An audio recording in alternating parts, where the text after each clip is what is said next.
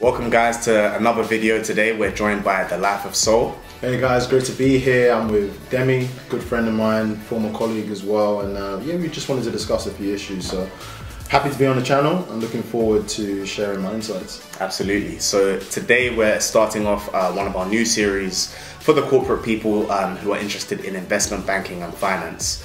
So for those that don't know, um, Sol and I actually worked together in investment banking in our first jobs after graduating from the University of Warwick. Um, we've definitely been through the trenches, had to work significantly long hours together. Crazy, yeah. um, so the plan for this video is to really walk you through the do's and don'ts of you know a first year investment banking analyst um, and let you know a bit more about our own experience whilst we were in the banks. So stay tuned, make sure to like, comment and subscribe and follow all of so, um, Sol's social media that will be available in the description.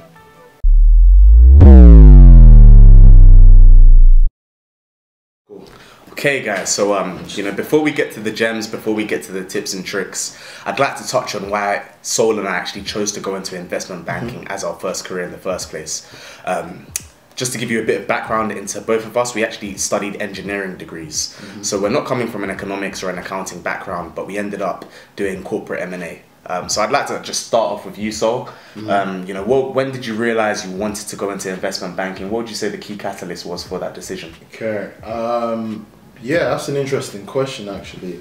So for me, my personal, when I decided, I'd probably say around sixth form. Okay. Probably say around sixth form. So I had coming from an African background, I had the parents kind of encouraging me to do traditional yeah, definitely. Uh, degrees or traditional paths. So it was like the lawyer, the doctor, you know, the standard stuff. And I think, you know, I played around with the idea and I thought to myself, you know, I, doctor's a great career path, but I don't really have the patience to study as long. Mm. Law, I kind of enjoy because of the client facing element, but I kind of wanted to do something more dynamic and exciting. And I feel like, you know, reading, I knew about business, but I didn't know what investment banking entailed. So I wanted to do something that was closely related to business, that was a high rewarding career. And I think most importantly, I wanted to be in the city. Mm. So I wouldn't say I knew what I wanted to do M&A banking, but I know I wanted to be at the pinnacle of the city, mm-hmm. kind of bringing in big deals, and so that was more my career choice. And as I done my research, as I spoke to people, it, it kind of narrowed into investment banking. So I'd say that's my real approach. What about yourself? Okay, brilliant. Um, so for those that don't know, for me, um, I was quite a numerate guy when it came to academics. So I enjoyed subjects like maths, mm. further maths.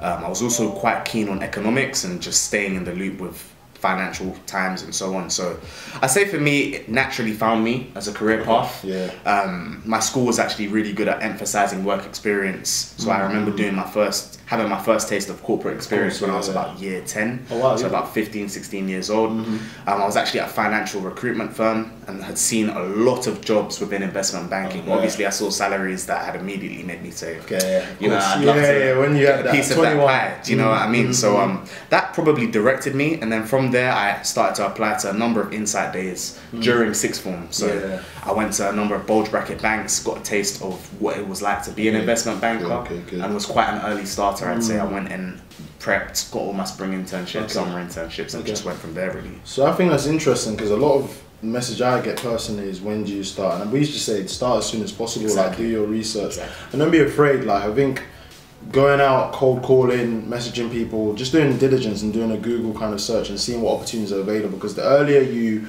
kind of make that decision or find out, the better mm. it is for you. And I think for me, similar to you, I was fortunate enough to get into a program around, I would say, around the sixth form mark, maybe the first summer before sixth form. So, what did I do? I worked at a firm, a reinsurance firm, so one of the, a really good reinsurance firm, a top five global mm. reinsurance, completely different from investment banking. But my first experience was in, so I won't say the firm, but it was in a Gherkin, and I was just flabbergasted, you know.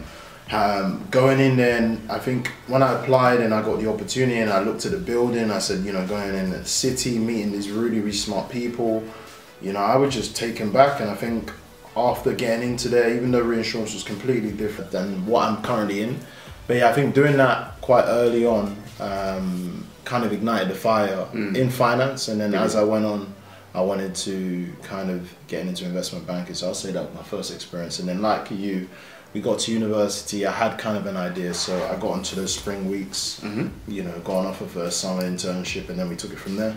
Brilliant. Okay, excellent. So if we fast forward a bit, um, you know, we've gone to the University of Warwick. We've you know worked hard, played hard, enjoyed ourselves at the uni. Um, too much, really. You know, at what point did you start buckling down and getting yourself ready for that final graduate role um, in investment banking in the end? I would say it really hit home probably after the spring weeks. I mm. think mm. just you know spring weeks was great, but then you had you thought okay I'd made it a free hotel. You got to meet all these keen people. Yeah. So you know going to the university we went to, we got to meet people from Oxford, Cambridge. Mm. You know you thought you were there. Yeah. And all of a sudden they hit us with the assessment centers. So I'm first year of uni. I hardly know anything. You know. 18, 19, Mm. and then we have to go through this assessment day where we had like a bunch of numerical tests, Oh, yeah. verbal tests, interviews, and I think it hit home when I was meeting people from the uni that had. I think that, that that's because I think when it hits home is when you can see people within your kind of line of path that you're going through in your journey. So it's like I'm in first year and we've met. I think it was mainly third years that had gone through that same Exactly. courses as us. And you know, they all of a sudden they have jobs at 50, 60, 70,000 outside uni. So I think it hit hmm. home after the spring internship when we had the kind of offers to do the summer or going through that process.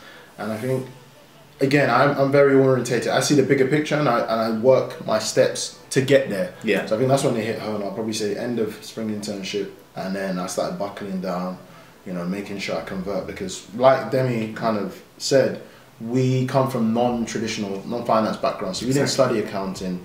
You know, we didn't study finance. So we had to learn this. So within our spare time, after our degree and after kind of going out and playing, we had to really understand what are the questions, what are the answers, what are the fundamentals, and so I'm sorry to say it was then. What about yourself?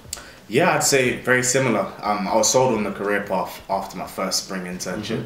Um, you know, as you said, the attractiveness of the job, compensation, the ability to work with extremely smart minds on exciting deals with business leaders that you'd probably struggle to meet in other career paths at such a junior level. You know, I was just like to myself, I want to do this investment banking course, thing. of So, course, yeah. you know, I did a investment banking summer internship in my penultimate year of university mm-hmm. at Warwick. Um, I was a bit unlucky. There wasn't enough headcount on that internship for me to come and join as a graduate. So the moment I took that internship opportunity, I was just hit the ground running Yeah. just before my final year. Of course. Um, and I was able to actually achieve my graduate job offer. Um, you know, before Christmas, in Great. final year. Yeah. So I, I took that pressure off and was course, able to yeah, just, you know, pressure. get my head down, Yeah. buckle down on the degree, and, and, and look forward to it. And Yeah. I think you know us actually going from Warwick and then meeting on this graduate day without knowing That's that crazy. either of us Yeah, yeah, yeah. arrive was because we done the same degree, Yeah, which is yeah. crazy. And I think that's another.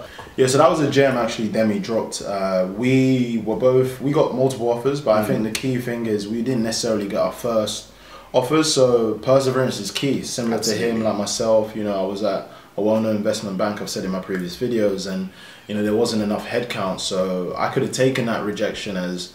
Oh my gosh, what do I do? But what did I do? I went down, I got my head down. It was tough because balancing it with the degree, the amount of lecture classes we might have Ah. missed, which we don't recommend. Make Yeah, sure, yeah. because you can't get into without getting the so it's a minimum threshold of a two one. So without getting your grades at university, you that's the minimum threshold. You will not get the offer. So it's important to focus and make sure you can. You know, get your two one in whatever your chosen degree is. So we made sure we kind of done that, and it was a big sacrifice. Yeah. But um, And just to follow on on that point, actually, you know, sometimes, guys, when you actually receive that job offer, you might see a conditional, Mm. a condition on your degree outcome being a T one, and you don't want to have worked so hard throughout your university career on yeah. Mm-hmm. securing a great career, but then you know miss out at the final step just because of Yeah. your grades. So, as Sol said, please try to be as efficient in your time management, Yeah. Mm-hmm. as productive as possible when you are applying, but do not fin- do not forget that degree essentially. Yeah, yeah, yeah. We'll definitely talk on further videos about Exactly. how to kind of, I guess, simultaneously do both, which is a key skill. Um, but we'll talk about that in further videos. So yeah, just going back, um, you know, dealing with with the initial rejection and yeah, making sure we secure the offer, and then yeah, you get to a situation where you know you you come you're in your final year and you know Mm. you have a degree and you can focus on getting the grades and you know go embarking on a new journey post Exactly. Yeah. and it's a very exciting pro- process because you know you're in your final year Mm-hmm. eventually you start getting communications from your graduate role Yeah. And they, they start saying to you, okay, we'd like to schedule a call with yourself and a few members of our floor. Team, yeah. Let's try and find you the right team for when you join. They start to send you details of training. Mm-hmm. Yeah, you yes. know, we had a very fun training experience. Oh, it was amazing, yeah. Um, and you start to see that? exactly, Yeah, exactly. So yeah. if we fast forward now to you know we've both finished university. Mm-hmm. It's the summer of 2019. Yeah. You know we're bright eyed, ready to start our careers in investment banking. It even felt like um, Jordan Belfort in Wolf Yeah. Wall Street. I don't know if you guys You just that, get to yeah. Wall Street. You're you're ready. Yeah. You know you meet your whole cohort, and and let's talk about you know that very first day. Okay. You walk through those doors, and you know you're now an investment banking analyst Okay. in training. Hmm. I wouldn't say it hit just because you really didn't. I think we're going to touch on that. You don't really know. You have an idea what you're getting to. Obviously, the internships were